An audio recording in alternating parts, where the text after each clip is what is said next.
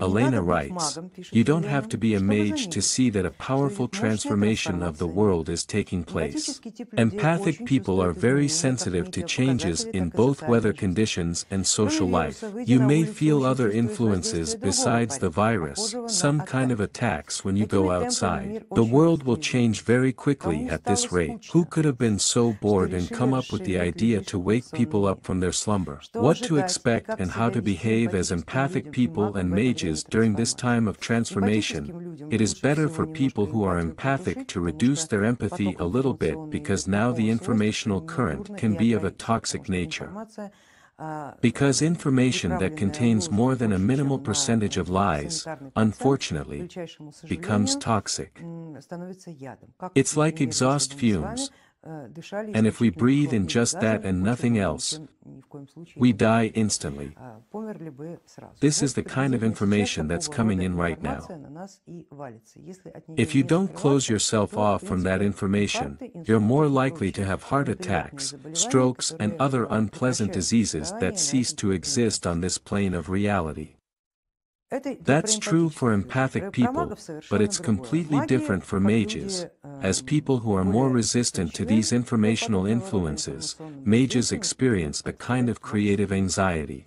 In other words, for any mage, the current situation is just like a huge pot of caviar with a large spoon in it to eat as much as they want.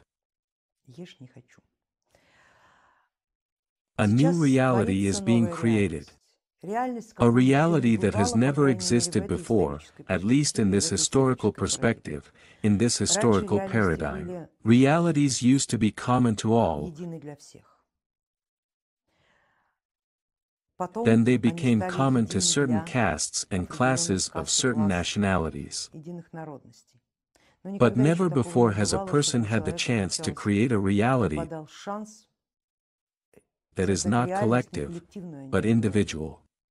It is a great experiment and a huge work, accompanied by terrible cataclysms, because all the old institutions that we are so used to are falling apart, all the old tools that used to work perfectly well are ceasing to work. For an ordinary person, for a layman, it's a disaster. But for a mage, it is a great stroke of luck to be incarnated at a time like this. Because right now, the raw material from which you can create anything you want is available in incredible quantities, and it is absolutely free. You don't have to give up anything, you don't have to pay for it, you don't have to invest your time, you don't have to sacrifice your personal life, just take that material and create something out of it. Determine what you want, determine who you're on the same side with, and then follow the algorithm.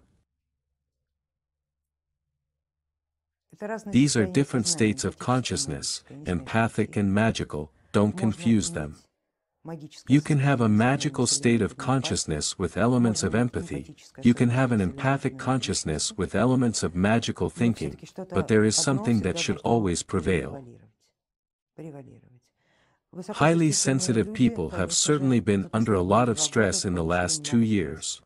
But if their consciousness had even a little bit of magical thinking, it would have intuitively found a way to take advantage of such a situation. Because it doesn't happen once in a thousand years, it happens once in two thousand years. And it's not meant for everybody. But now it's absolutely meant for each and every one of us. But who will be able to use such a gift? Who will have enough courage, strength, excitement, interest and daring. I really hope, colleague, that it will be you.